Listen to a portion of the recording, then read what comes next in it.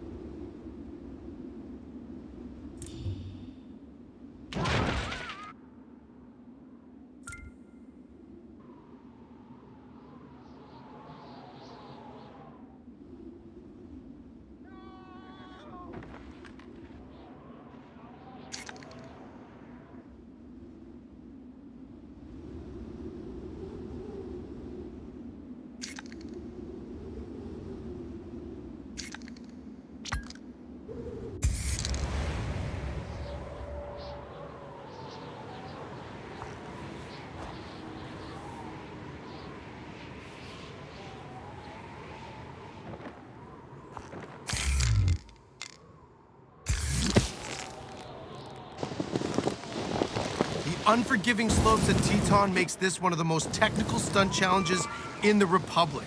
Don't miss it.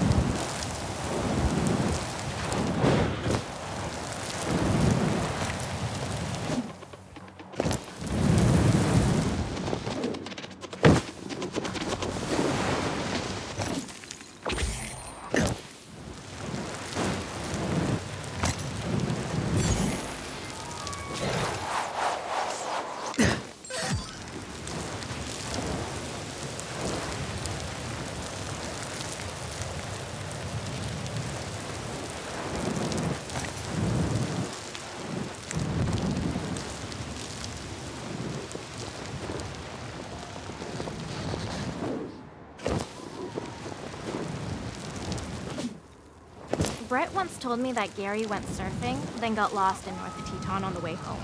Apparently, he had to camp out in a makeshift igloo. Seems dubious, but worth exploring, right? Might swoop some finds.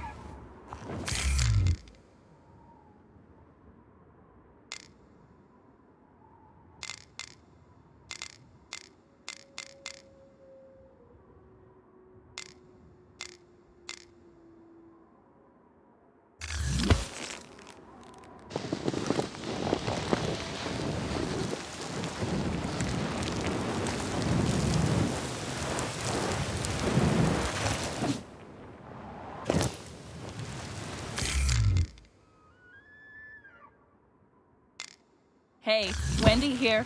Remember, if thinking about riding makes you happy, imagine actually doing it. You hit the slopes and I'll play the hits.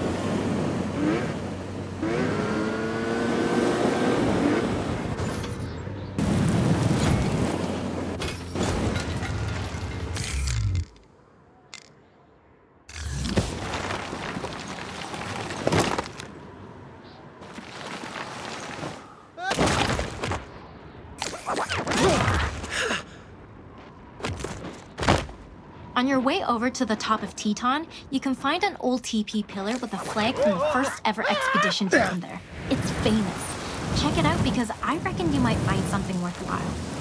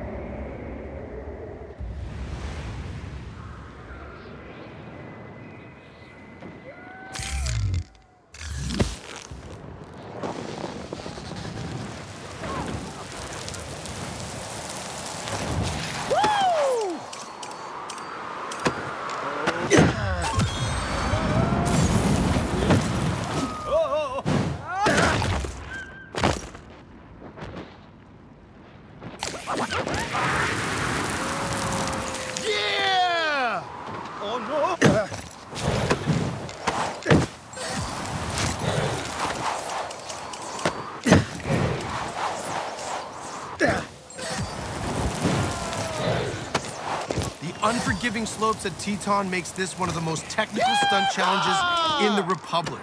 Don't miss it.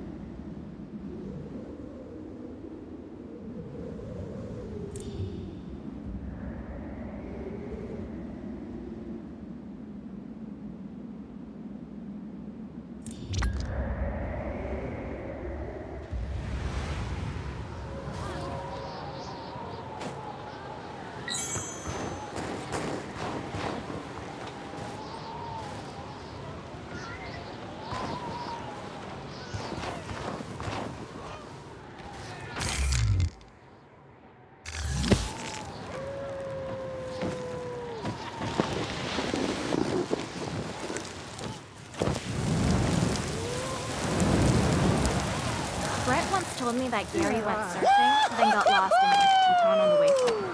Apparently, out in a makeshift igloo. Seems dubious, but worth exploring, right? Might sneak some finds.